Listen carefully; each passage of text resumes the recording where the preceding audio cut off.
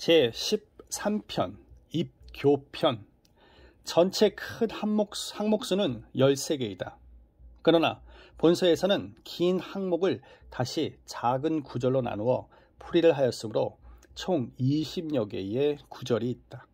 대체로 바른 가르침과 배움의 중요성 및 몸 가꾸기, 집안 일으키기, 나라 다스리기 등에 관한 기본 도리를 가르치고 있다. 즉, 3강, 5륜을 비롯한 유교의 기본 덕목이 강조되고 있다. 기타 중요한 내용을 들면 다음과 같다.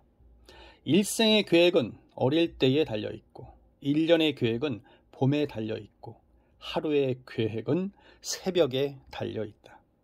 수신과 보신의 기본은 효도와 도의의 실천이고, 성가의 기본은 독서이고, 생제의 기본은 근검과 절약이고, 치국의 근본은 공평과 청렴이다. 장사숙의 좌우명에는 약 14개 조항의 행동 지침이 적혀 있다.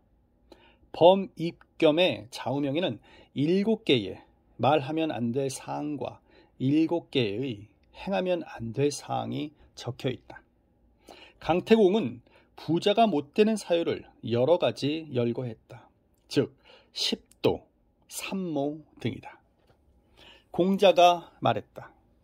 입신에 지킬 도의가 있으니 효도가 근본이고 상사에 지킬 예절이 있으니 애척함이 근본이고 전진에 반열이 있으니 용맹을 근본으로 하고 정치에 도리가 있으니 농업을 근본으로 하고 나라를 지킴에 길이 있으니 계승을 근본으로 삼고 재물 생산에 때가 있으니 노력을 근본으로 삼는다.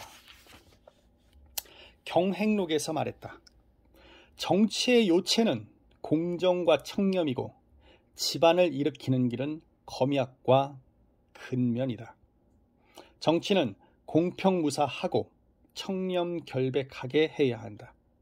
부지런히 일해서 벌고 알뜰히 절약해서 저축하면 집안 살림이 풍요롭게 된다.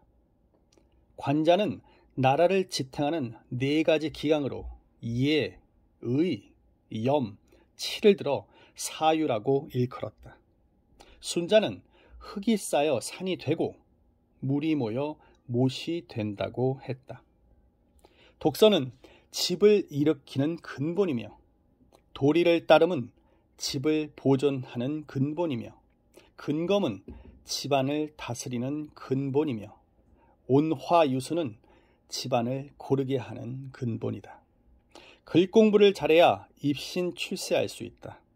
사회나 국가에서 일을 할 때는 도리를 잘 따라야 벼슬이나 신분을 잘 지키고 따라서 가문도 잘 보존할 수가 있다. 가정 경제의 바탕은 근면과 절약에 있고 가정의 평화는 가족이 서로 화목하고 온화롭게 지냄에 있다.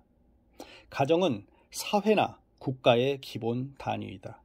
가정이 안정되고 번창해야 국가도 안정되고 흥성한다. 역경에 집안이 바로 잡혀야 천하도 안정된다는 말이 있다.